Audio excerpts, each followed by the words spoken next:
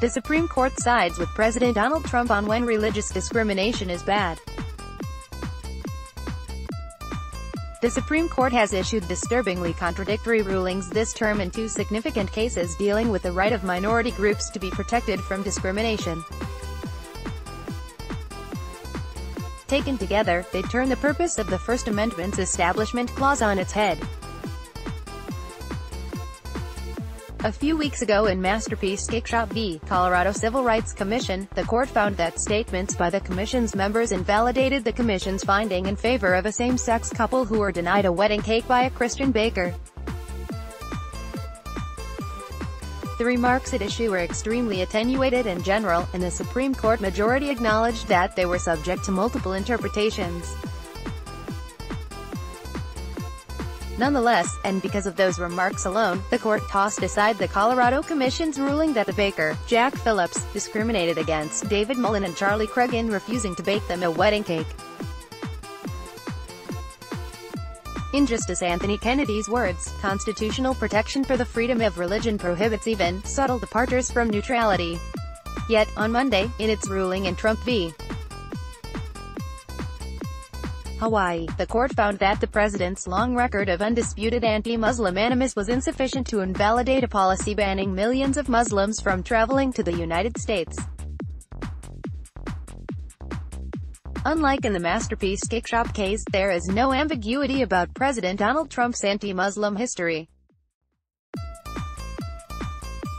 His statements are not subject to multiple interpretations and their hostility toward religion is so well documented that it was not even being disputed by the government.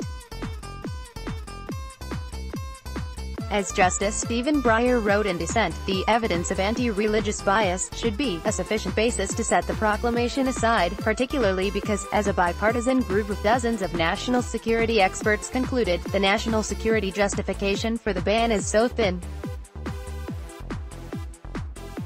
Although the court's decision focused on the powers of the president under the immigration laws, this case at its core was always about whether politicians can demonize and vilify a religious group and still be allowed to implement policies that specifically target that group.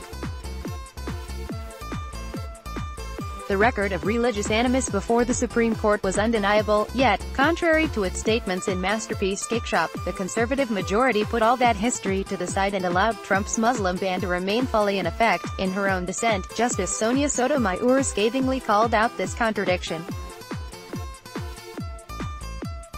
The court in Masterpiece Cake Shop had found less pervasive official expressions of hostility and the failure to disavow them to be constitutionally significant. She wrote, yet now the majority allowed a policy first advertised openly and unequivocally as a total and complete shutdown on Muslims entering the United States to go forward. At the end of the day, the only meaningful difference between Masterpiece Cake Shop and Trump v. Hawaii is that Jack Phillips is Christian and the millions of people targeted by the ban are Muslim. The slightest hint of hostility toward religion is intolerable to the Supreme Court when directed at mainstream Christian beliefs. But years of well-documented, unambiguous animus toward Islam does not hold enough weight to invalidate a policy that has no viable alternative justification.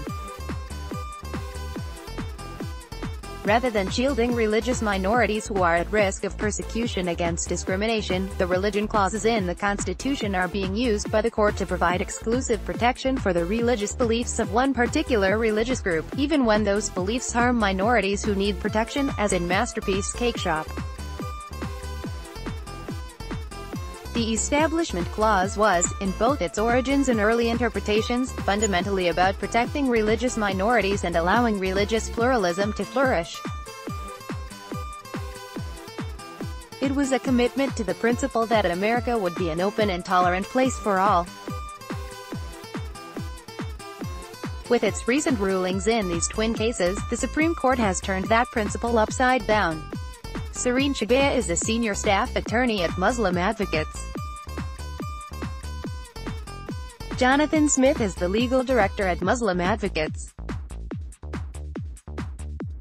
Also on HuffPost Opinion Opinion, Democrats are in denial about the Supreme Court opinion, the U.S.